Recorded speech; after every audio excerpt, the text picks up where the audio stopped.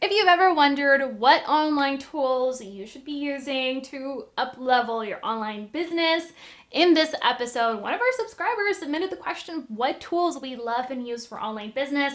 I think these are probably the top eight. Highly, highly recommend checking it out. And that's what we're going to dive into in this episode coming up.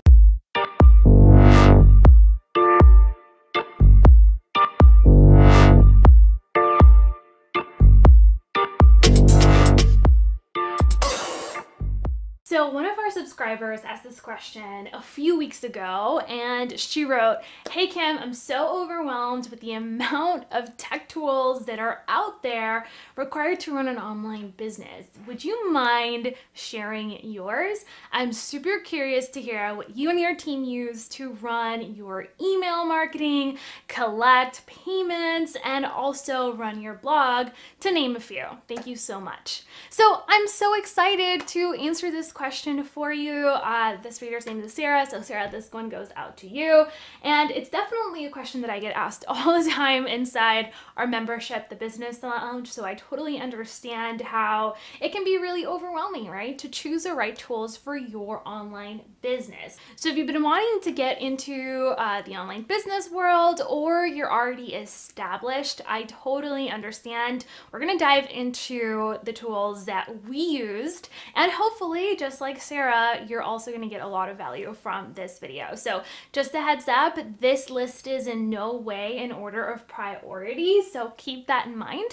And I think it's also important to understand that tools are an amazing channel or a medium, right, to get our work done faster and more efficiently, but they never ever trump strategy. So we always want to focus on the strategy first, right? And the tools later. So the first tool that I love and recommend is ConvertKit.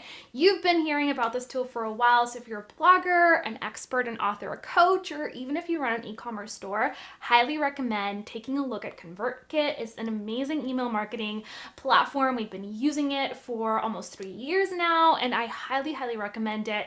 And the thing that I love about ConvertKit the most is the fact that they have incredible deliverability. They're super reliable with their basic features, and we actually really love that they also have powerful automation. So when I talk about email marketing tools, I come from a place where I've used basically every tool out there. Infusionsoft, Ontraport, GetResponse, Aweber, MailChimp, you name it, we've used it. And so I really, really recommend ConvertKit if you're running an online business because it has really powerful features, but it's also very simple. So someone described it once as the power of Infusionsoft with the simplicity of MailChimp, and I could not agree more. In fact, we're gonna link an entire playlist um, that we have on ConvertKit tutorials so you can check out everything that you can get done with ConvertKit and definitely explore that tool. Love it highly, highly recommend to ConvertKit. All right, so tool number two is Samcart. You've also heard me talk about this tool in the past. It's an awesome way of capturing payments, right? So you usually have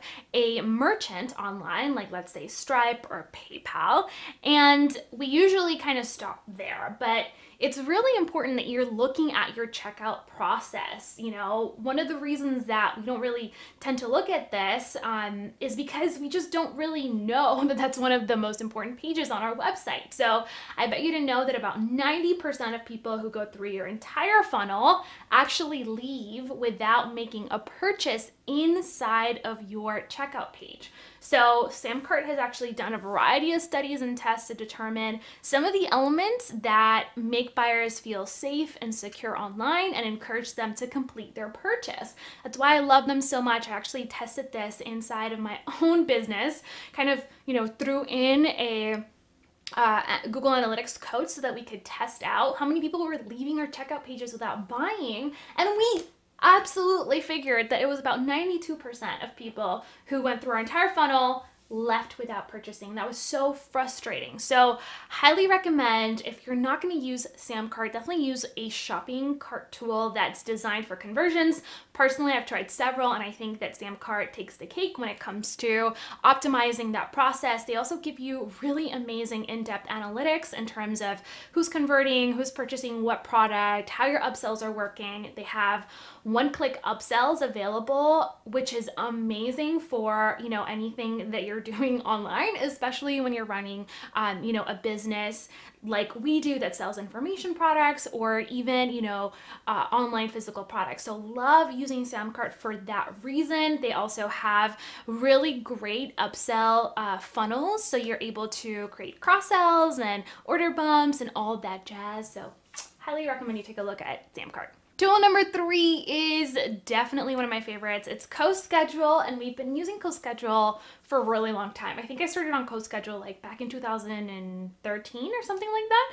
So it's an awesome uh, tool that allows you to organize and plan your content. It also schedules your social media posts and you can link it to WordPress so that it actually schedules your blog posts as well. So if you're publishing on places like LinkedIn, Pinterest, Facebook, Facebook groups, Twitter, Instagram, um, CoSchedule is definitely my go-to tool. Highly recommend it. It is a little bit pricier than most tools, but they have a great individual plan. It is catered towards agencies because it's a robust content calendar tool.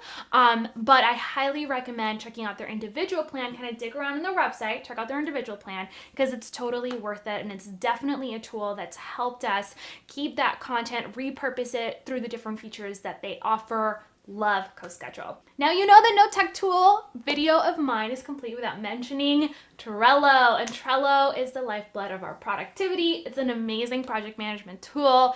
It'll help you keep track of everything in your business. So it's incredibly versatile. And that's probably one of my favorite features about Trello. You can turn it into really anything, right? From a CRM to planning your content calendar to even onboarding and training your team members. I love it, use it every single day. In fact, it's what we use to plan every single rollout of our content, both publicly, so these videos that you see on the channel, as well as privately inside our membership. So whenever we're planning a new course, we're developing a new bonus or some kind of new training, we use Trello to organize that process, collaborate with team members, communicate, really figure out exactly, right, what we need to get done in order to produce our content, run the business, train, you know, our employees, and then of course we plan big picture projects as well that help us stay on track with the goals that we've set out for the year. So if you're looking to explode your productivity, highly, highly recommend using Trello. I'm also going to link in the description box below, not just the article, the blog post that corresponds with this episode. We're going to get even more tips and resources to leverage these tools, but I'm also going to link a full playlist that we have on Trello so you can check out all we have to offer around that specific tool.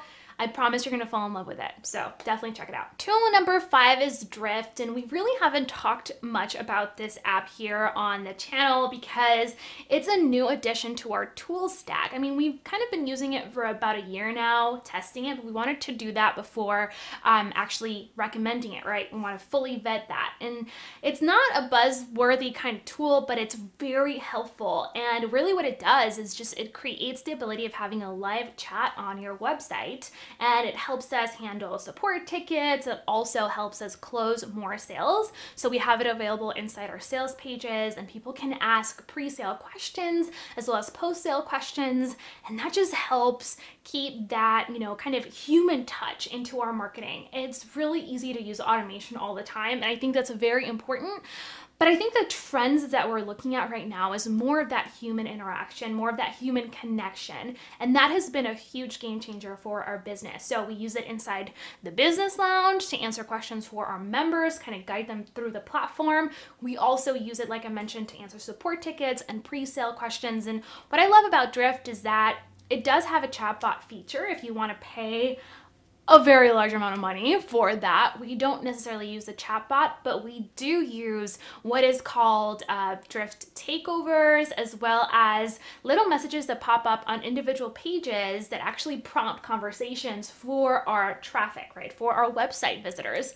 And that really helps to, again, answer questions they might have what I like is that we can change the message based on the page that they're hitting. It also alerts them if we're not online and lets them know they can message us and we'll get back to them as soon as possible. So, love that about Drift. It also is a great way of categorizing conversations on the support side. So, every time, you know, we get a new chat, we can decide and categorize it as a sales question or a support related ticket. And then my team goes in there and they categorize it, they answer the tickets, and if there's anything that I need to answer personally, or if the person wants to talk to me, then they will assign that to myself. So it's a really great tool, highly recommend it. It is $49 a month, but there is a free version that you can check out and leverage and use that I think is amazing. We used the free version for, I think, like six months before we upgraded. So definitely check out Drift. I think it's an up and coming tool that is doing some really cool things in the online space.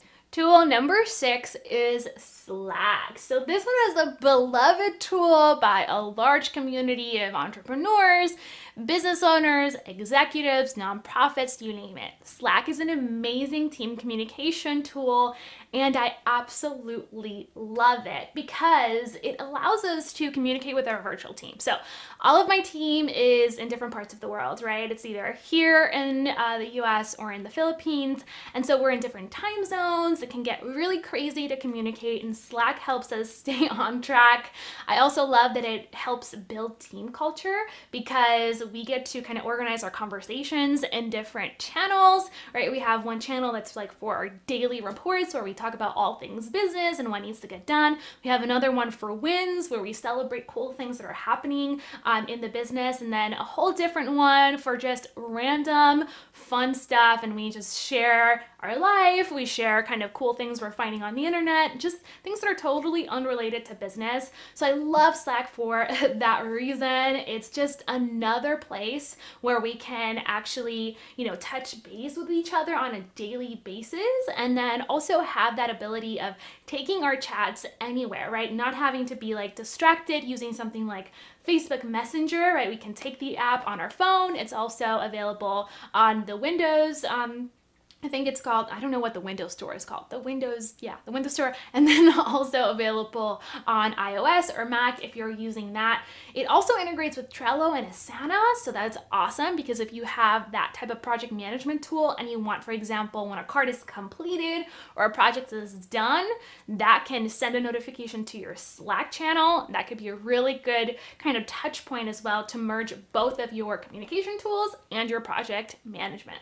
Tool number seven is Canva, and as you guys know, I'm a proud Canva ambassador. That doesn't mean that I'm an affiliate. I just love sharing what they have um, available and I'm not getting paid to say this. I should have started the video with that. it's not sponsored, but these are the tools that we love and use and I absolutely love Canva. It helps you design quality, you know, designer quality graphics without having any kind of design background. I love it so much that I literally created a full course on it because you guys asked for it. So it's called Zero to Branding and if you want more details on that program, I'll definitely leave a link below. But it basically will show you how to use Canva. And Canva has two different levels. It's Canva for free, right? The free plan, and then Canva for work. Both of them are amazing. They have the ability of creating amazing, beautiful graphics, whether it's social media, newsletters, printed as like if you need to you know print a brochure or create some kind of ad um, that's printed you can do that as well business cards facebook ads you know logos headers on your website really anything you can think of you can do with Canva. The possibilities are truly endless.